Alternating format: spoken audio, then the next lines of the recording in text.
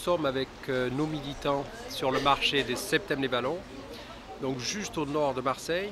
Nous avons rencontré beaucoup de monde ce matin, donc on a parlé des propositions d'Emmanuel Macron et notamment sur la tolérance zéro. Là on a échangé avec les gens et c'est vrai que cette euh, proposition intéresse.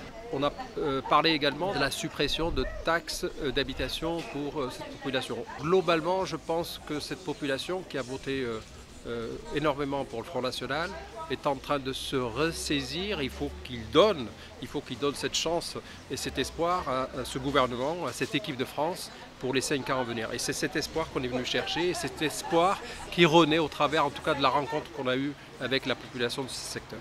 On ne peut pas gagner sans la participation de tous les Français. Et donc chacun doit prendre sa part de responsabilité un projet commun, c'est celui de la France. C'est celui de retrouver une France très forte dans une Europe euh, très forte.